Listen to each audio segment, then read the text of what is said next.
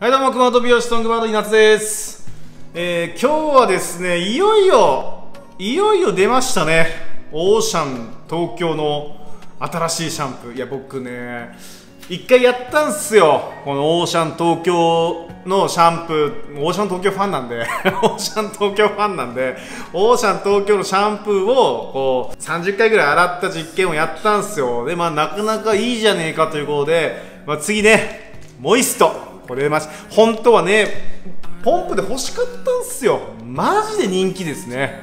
うんこれオーシャンファンの人が見てるなら多分そうなの。人気ですよね。だからもうようやくパウチが3つぐらい手に入って、まあ、1つは僕が使ったっていう感じで、まあ、使った感想としてはやっぱこう、うん、トリートメントされる部分にグリセリンが入ってるんで、まあ、モイストですよね、まあまあ、ずっと前の動画でも言ってますけどグリセリンって入ったらモイスト大体モイストっていう感じでしっとり系って感じですね。でもう手触りももうしっとりしてガサガサ感もなく洗い上がりもすごく良かったんですよ。で香りが特徴的でやっぱ香りいいですね。前のオーシャントリコアンサーシャンプーも香りめちゃくちゃ良かったんですけども香りもすごく良かったです。えー、とななんですか桜エキス配合好きになっちゃう香りみたいです。しゃれてますね好きになっちゃう香りですよ。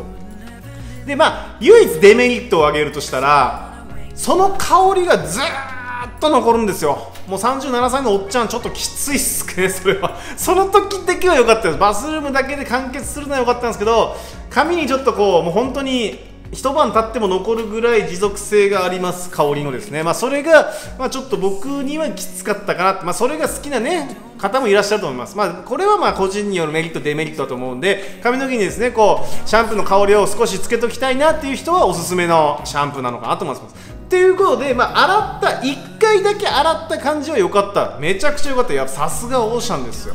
さすがオーシャン。ですのでまた今回もやっちゃいます。はい。まあ許す限りはい。毛束3つ準備しました。赤。赤で染めた毛束ですね。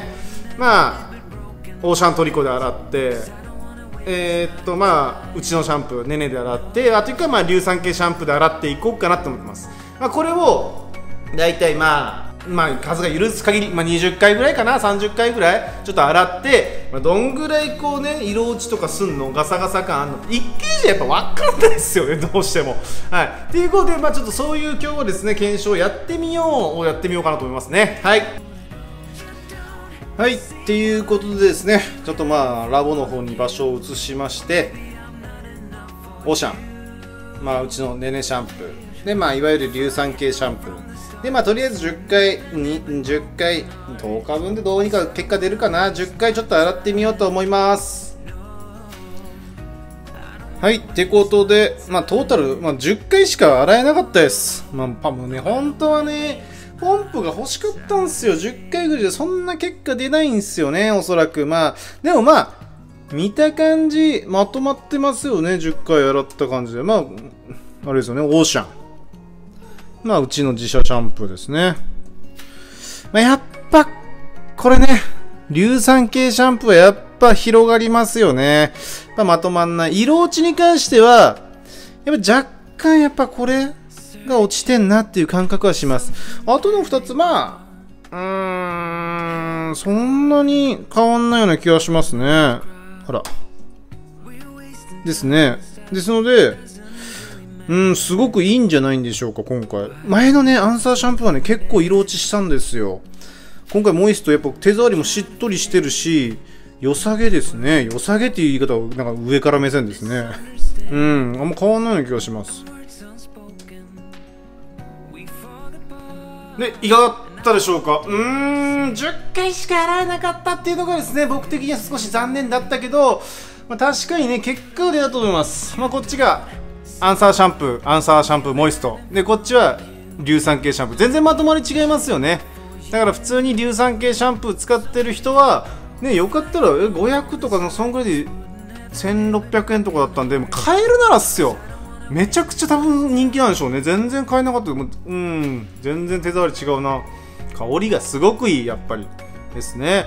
でそれでまあ、おすすめですよ。やっぱ、やっぱオーシャンですね、モイスト。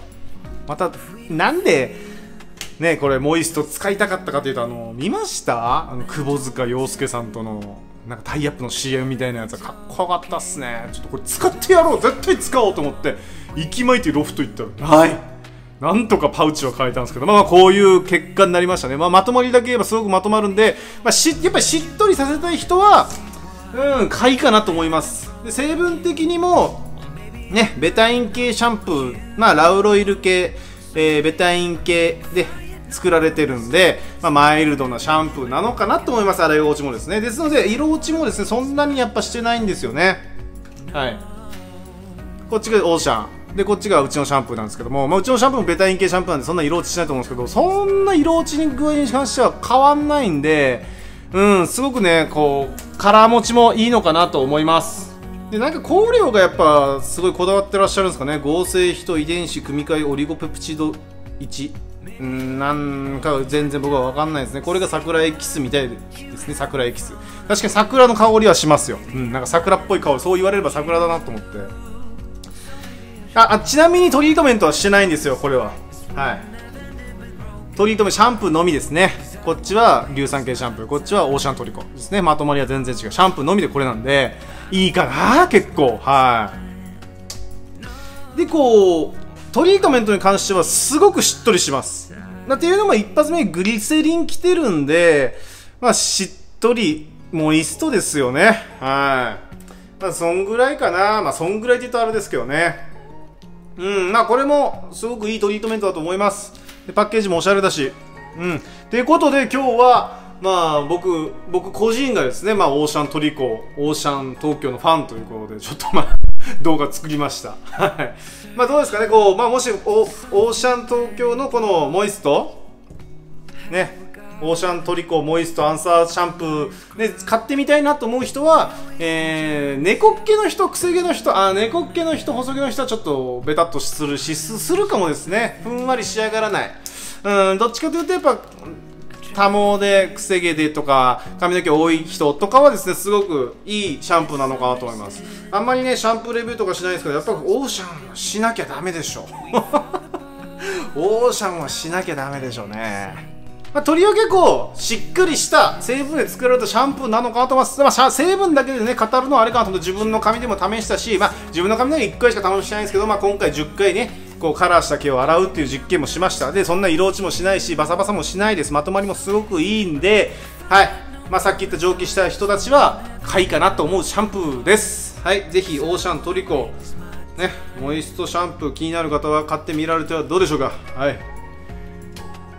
まあ、てことでたまにですねたほんとごくまれにこうやってこうシャンプーのレビューといいますか。僕はですね成分だけをこう言ってレビューはしたくないんで実際に自分で使ってこういう風に毛束を使ってレビューしますので。まあなんかねその今これ流行ってんぜとかこれすごくいいよこの韓国シャンプーみたいなのあったらコメント欄に書いてもらえればちょっと自分で使ってみておええなと思ったらまたこういう実験をしていこうと思ってます。まあ過去動画でもですね何個かこういう実験動画上げてますんで、まあ、もしよかったら見てもらえたらと思います。はい今日の動画参考になりましたが参考になったと思ったらグッドマークとコメントよろしくお願いします。